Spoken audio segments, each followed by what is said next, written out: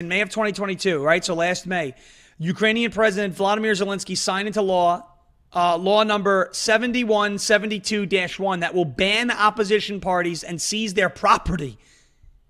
Ban opposition parties and seize their property. Does this sound like a nice guy to you? You're an opposition party to Zelensky when the country's at war. Your property can be seized. This is this is a, a tyrant. He's not just a oh, he's a comedian. He, he was the tiny dancer, and he was dancing on TV and Drake. No, this guy's a tyrant, and we're funding him. What? The law targets opposition parties if they deny the armed aggression against Ukraine. If they deny the armed aggression against Ukraine. If they deny the armed aggression against Ukraine. In other words, if someone says this war is not bad, you lose your house in Ukraine.